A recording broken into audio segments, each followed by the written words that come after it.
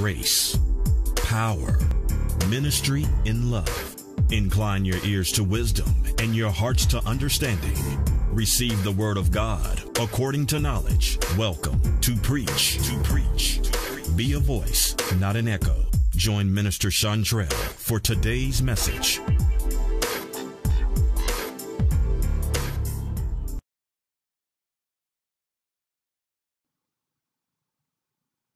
Good day, beloved, and thank you for joining me today. My name is Minister Shawntrell, Ambassador of the Word of Reconciliation according to the Word of God. Today is February the 28th, 2017. It is 11:25 a.m. Central Time, and I'm going to begin with prayer. Heavenly Father, I want to thank you that I'm alive for such a time as this. I bless your holy name, Father. I force my soul to bless you this day, for you are worthy of all reverence, praise, and honor. Father, I thank you that as I slept last night, you opened my ears after hiding pride and you sealed my instructions for this day, Father. And as I move forth in obedience, full of your purpose, Father, I do it without fear and with boldness, according unto your spirit, Father, and not my own soul. Father, I thank you that you have purposed me for this day. You have purposed this word for this day.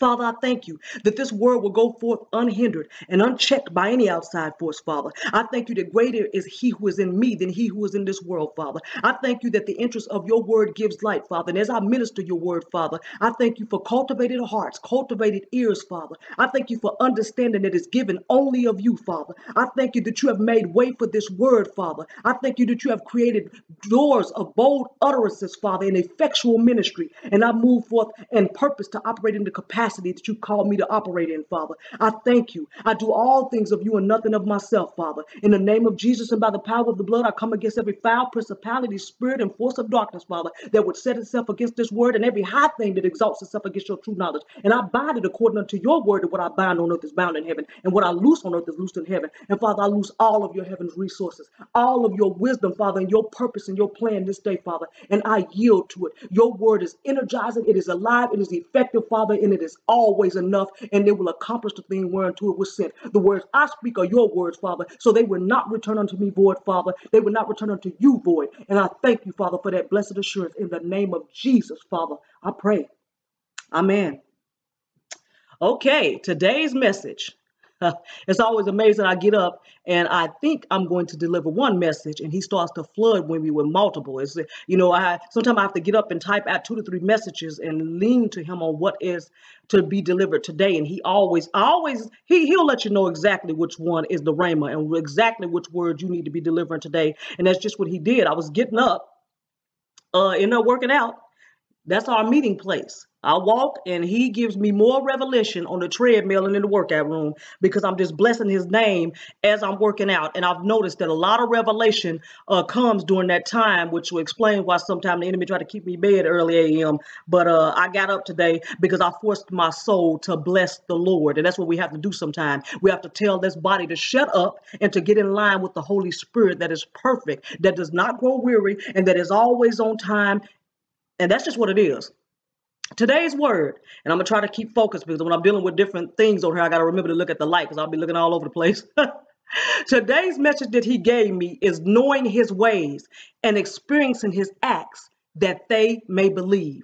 I don't know why I was on, well, I know it's always the Lord leading me into that I was out on the treadmill and I'm walking I hear people ministering the word. Oh, how great is his ways and knowledge, and his ways are past finding out. His ways are past finding out. It's the same thing as they do when they use the fact that his thoughts are not your thoughts, neither are his ways your ways. No, that's that's what the word said. It's true. But he did not tell you that they could not be your thoughts. He did not tell you that his ways could not be your ways, which is why he tells us to be transformed by the renewing of our mind so that we can think, walk, and act in the ways that he thinks, walk, and act because we are not separate of him. I'm going to start start reading with Romans 11 and 33. Oh, the depth of the riches, both of wisdom, knowledge of God, how unsearchable are his judgments and, and his ways past finding out. I'm going to read that again in the Amplified. Oh, the depth of his riches and wisdom and knowledge of God. How unsearchable are his judgments and decisions, and how unfathomable are and untraceable are his ways. I'm going to read that again. They're past finding out. Key word. They're past finding out. You can't search nowhere to find his ways. I'm going to go down here now to Psalms 103 and 7. And this is what he said to me as I, I kept pondering on his ways past finding out. And he he clearly said, I make known my ways. Hmm.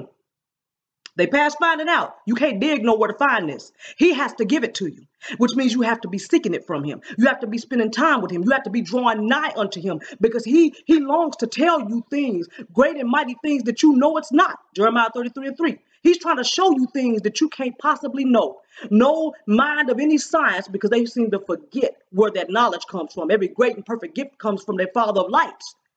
But it's the arrogance that the enemy begins to put in people's mind that they actually begin to think it's them has nothing to do with you. Just like a lot of people in Christ, they still think this walk has something to do with them.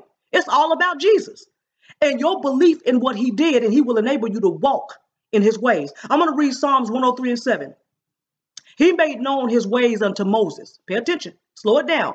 He made known his ways unto Moses, his acts unto the children of Israel.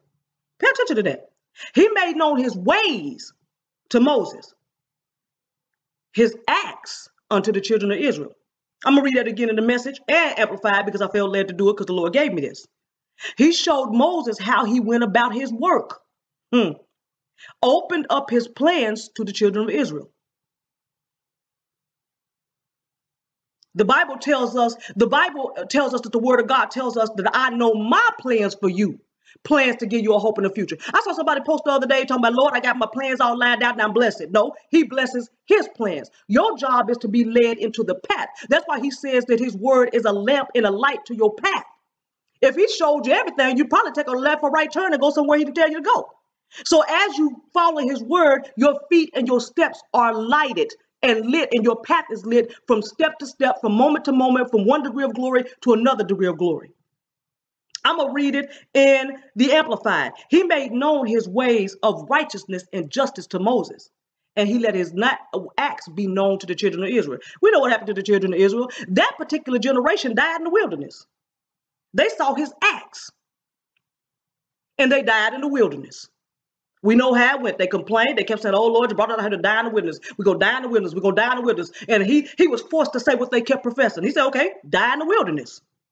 So you got to watch what come out your mouth. I don't care what you see.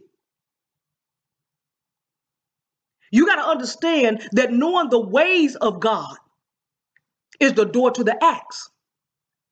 And that's the difference between having the mantle. The mantle of a man is the ways of God, knowing why he walks the way he walks, why the Lord does what he does, how he does it. Those are his ways. You need to understand that a mantle is not about a man. It's not about a man. It's not about a mantle. You see people that start following the person, and it's the mantle up on that person. And anything one person have, you can have if you draw near. The Lord gave me notes, and I put the mantle is why and how a man or woman of God is how they walk the way they do, is how they're able to hold themselves the way they hold themselves, and it is because of what they understood of God. It is because of what they understand and understood of God, is how they were able to walk in the ways that they walked and do the acts that they did, because the walk, the mantle, brings forth the acts. You don't want to just see the acts of God and not know his ways. And I can promise you, in these last days, you're going to have to know his ways to survive. You're going to have to hear his voice and you're going to have to know his ways. And that is the only thing that is going to keep you, because there's only safety in, we know, Jesus Christ, the anointed one, Yeshua HaMashiach whatever name you want to call him, because it's Jesus, the Christ, our Lord. You have to know his ways. That's the difference when you look at Elisha. When Elijah was taken up into heaven by fire, because we know he didn't die, and he asked for a double portion, his mantle fell to the ground. And some of the other prophets went to go search him. They said, Let us go search. And Elisha told them not to. But they kept whining and nagging him until he said, Okay, go look. They went looking, you know, because they know the Lord could have moved him. They tell you what they was used to seeing, because the Lord could have moved him somewhere unless they said they unless the Lord put him on some other mountaintop somewhere. So they went days looking. And when they came back, Elisha said, Did I not tell you not to go look for him? Because Elisha understood at that moment it was about the mantle. Why do you think he took that shirt and when he hit that water, he said, Where is Elijah's God? He didn't no longer say, Where's my father? Where's Elijah? He said, Where's Elijah's God when he smoked that water and that water poured it? and he had a double portion of Elijah's anointing on him. And anyone that does the research know that Elijah did 18 miracles, Elisha did 36, exactly double what he asked for. But I'm gonna stay on course. You notice when he took that, he struck the water and he said, Where is Elijah's God? His ways. I'm gonna read Psalms 25 and 4. Show me thy ways, O Lord. Teach me thy paths. David prayed this, and you will find this all through the Bible. Just Google it. You're going to find uh, how the people who knew and understood that it was the ways of God and his manner and his presence that show me your ways. I'm going to read that again in Psalms 119, 169. Let me cry, let my cry come before thee, O Lord. Give me understanding according to thy word. That's what the Bible tells us in all thy getting, get understanding. You can't find understanding either. You can't search for understanding. You can't study for understanding. He tells you to study to show yourself approved, a workman. He didn't say study to get understanding because only he gives understanding. Just like only he gives wisdom. Now, there is a devilish wisdom that is earthly and sensual by your senses. That doesn't mean sexy. Senses, sensual, based on only what you see, feel, touch, taste, and what you see other people having. Because there's some people that look like they got a lot and they poor and wretched. Psalms 119 and 44. The righteous of the righteousness of thy testimonies is everlasting. Give me understanding, and I shall live. The Bible says, Blessed are those that feareth and walketh in his ways. Psalms 128 and 1. Blessed is everyone that feareth the Lord, that walketh in his ways. Psalms 86 and 11. Teach me thy teach me thy way, O Lord. I will walk in thy truth. Unite my heart to fear thy name. You hear what he said? Unite my heart to fear your name. Unite my heart with yours. Walk in his ways. Now, the ways of the Lord, his acts and his works, the law.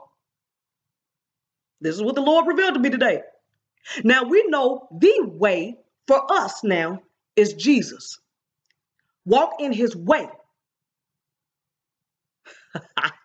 that you may know his ways. Walking in his way causes you to do and act and walk in his ways. So we are to put on Christ. Those of us in this new covenant are to put on Christ. But there was a picture of Christ throughout the whole Bible. If you study, Jesus was always there. It was a shadow of the substance. All those things were a shadow, and Jesus is the substance of those things that were shown. I say again, anyone who knows and study know the law was never meant to make you clean or righteous. The law was to show your need for a savior. The law was to expose sin. That's like somewhere driving in a country where they don't have a speed limit. If there's no speed limit, you can't break the law by speeding. But once a law has been put into place saying you can't drive over this limit and you do it, it's broken. He said, Where there is no law, there is no transgression. And we know that we have put on Christ. So we are no longer in transgression. I'm going to get there. Bless the Lord, oh my soul. I'm going to read John 14 and 6. Jesus said unto him, I am the way, the truth, and the life. No man cometh to the Father but by me. So moving from his ways to the way that we operate in his ways, which are the acts. Because a lot of people stop the acts. The acts was a movement that should be still going. That's why you don't see a lot of signs and wonders. Because when the acts started with the apostles, it should be still going. But that time is coming back. This is why this message is being brought forth. And I'm not the only one giving these kind of messages. Grace note, in him we will walk in and know his ways. By walking in the way, that's Jesus, we will know his ways. The way is the person, the embodiment, the Christ, our Lord Jesus. The ways are the acts that come forth, the signs and wonders, the results of the acts that come forth. I'm gonna read Act 4, Acts 14 and 3. Long time, therefore, bold they speaking, and you can read this whole thing to get the whole context of this story. It's about these evil people turning other people from the ways because they want to hear the word. Sound familiar? Long time, therefore, bold they speaking boldly in the Lord which gave testimony. The Lord gave testimony unto the word of his grace. Word of his grace. That's why you don't see miracles. It has to be the word of his grace. All these other words, I don't know where they're coming from. If you're not ministering grace, you're not ministering the gospel. The word of his grace and granted signs and wonders to be done by their hands. I'm going to read that again because it needs to be. Long time, therefore, bold they speaking boldly. These are the apostles Paul and, you know, which gave uh, boldly in the Lord, comma, which gave testimony unto the word of his grace. He was testifying that, yeah, they minister in my word.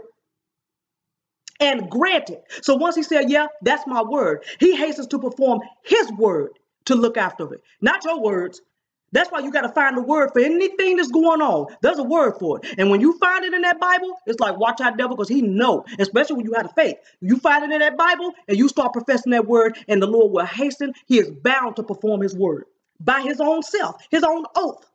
He swore by himself and he can't lie. He gave testimony unto the word of his grace and granted signs and wonders to be done by their hands because they were ministering his words. They were walking in the way, which is Jesus. They then began to perform in his ways. Those are the acts. And then the results, the signs and wonders. We got a mighty God. Now, back to this knowing his ways to show the acts that they may believe. That's the why. I'm going to read Acts 13, 7 through 12 which was the deputy of the country. Read this whole chapter. I, I, I, I would urge you to go read this whole chapter if you haven't. Which was with the deputy of the country, Sergius Paulus, a prudent man. That means he ain't stupid, he got some sense. Who called for Barnabas and he called for Saul, and he desired to hear the word.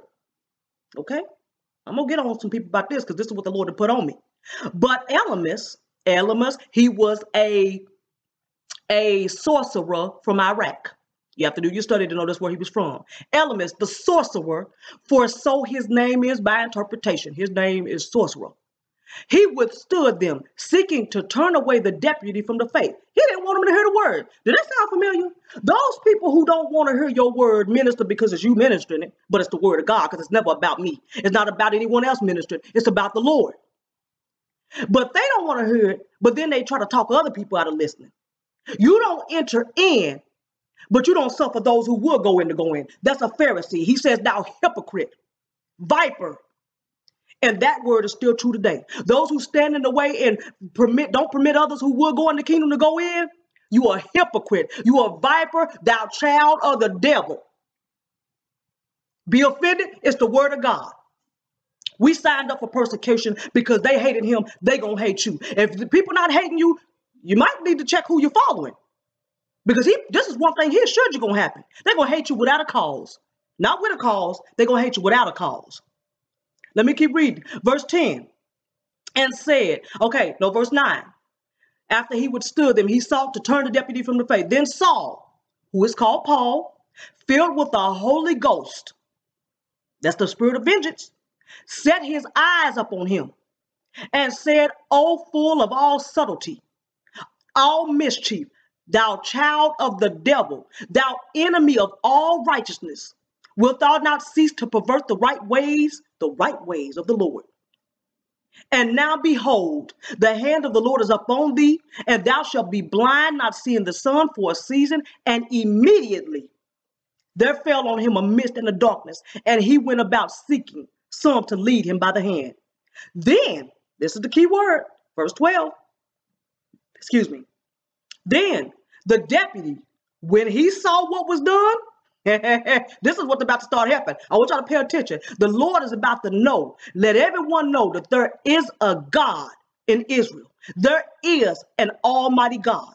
The deputy, when he saw this, what was done, he believed because he saw this, being astonished at the doctrine of the Lord. And this is what the, is about to start happening because y'all don't understand. The spirit of the Holy Spirit is here to, for recompense and justice. When Jesus was here, his ministry was different. He said, "I didn't come to, to kill. I came to, to save the world of sins." And when he said he was, he he read Psalm 61 to preach the acceptable year of the Lord. He sat down.